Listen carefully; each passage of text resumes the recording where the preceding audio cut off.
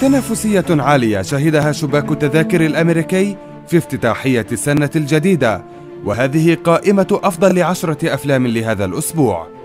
فيلم الخيال العلمي Poor Things يقفز إلى المركز العاشر في أسبوع عرضه الخامس بمجموع أرباح تجاوزت 14 مليون دولار.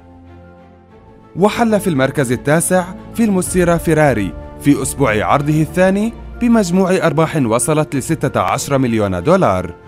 ووسط تنافسية عالية احتل المركز الثامن فيلم المصارعة The Iron Claw في أسبوع عرضه الثالث بمجموع أرباح تجاوزت 24 مليون دولار.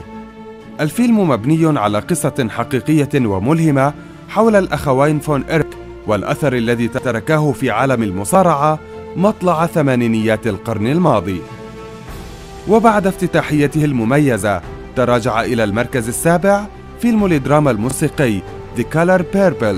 في أسبوع عرضه الثاني بمجموع أرباح تجاوزت 54 مليون دولار.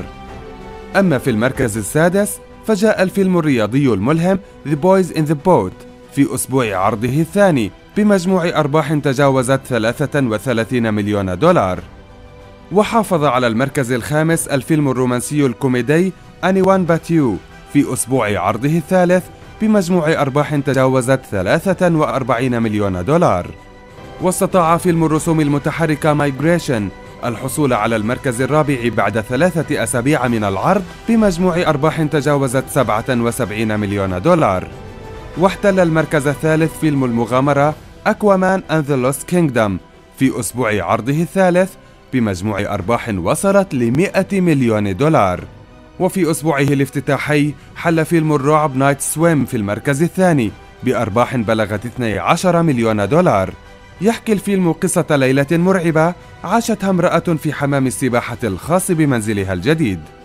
وأخيرا جاء بالمركز الأول فيلم المغامرة العائلي وونكا في أسبوع عرضه الرابع بمجموع أرباح تجاوزت 164 مليون دولار. يتناول الفيلم حياة الشاب ويلي وونكا قبل تحقيق حلمه بافتتاحه مصنع الشوكولاتة الشهير. كما ينتظر شباك التذاكر الأمريكية عرض مجموعة من الأفلام القادمة هذا الأسبوع. من أبرزها الفيلم الموسيقي الكوميدي مين جيرلز وفيلم الإثارة والحركة The Beekeeper والفيلم التاريخي The Book of Clarence.